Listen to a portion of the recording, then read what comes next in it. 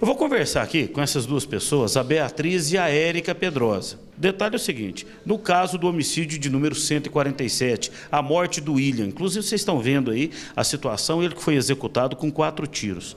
Quem estava junto com eles lá? Eu. Você que estava lá? Tava, que deitado que do lado aconteceu, dele. Érica? Tava dormindo. Na hora que eu ouvi só os barulhos. Aquela casa lá é sua, cara. Não, é, é- é da minha amiga aqui, ó. Como é que é seu nome mesmo? Beatriz. De quê?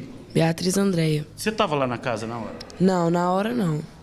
Mas o porquê que o William teria sido morto? Conta isso pra gente. Ah, isso aí eu não, eu não sei porque que ele teria sido morto. Deve ser algum problema que ele tinha, né? Ele tinha passagem na polícia. Tinha. Você falou isso, que ele tinha passado. É, ele tinha passagem, era conhecido pela guardição, mas eu não sei o motivo da morte dele. Agora, a pergunta, inclusive nós vamos mostrar, vem cá, Bruno, olha aqui, a situação aqui, elas estão conduzidas. E eu falava isso na televisão, porque você era testemunha no primeiro momento. Por que, que você está presa aqui? É por causa do mandato aí. Você estava foragida, né? Tô.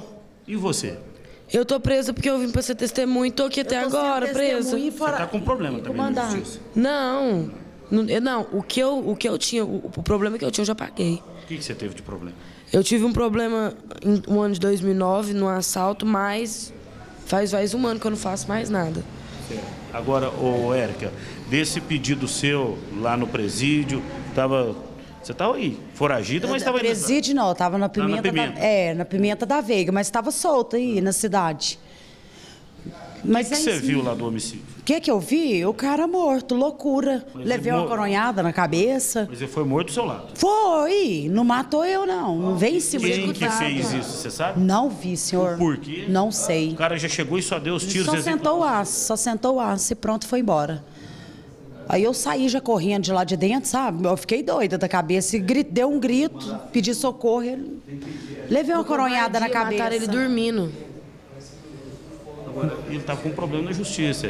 Estava sendo ameaçado, ele te contou? Não, Você conhecia ele há muito tempo? Oh, com certeza. Com certeza. Não me contou nada disso, não. Não sabia que ele estava com problema. Não sabia.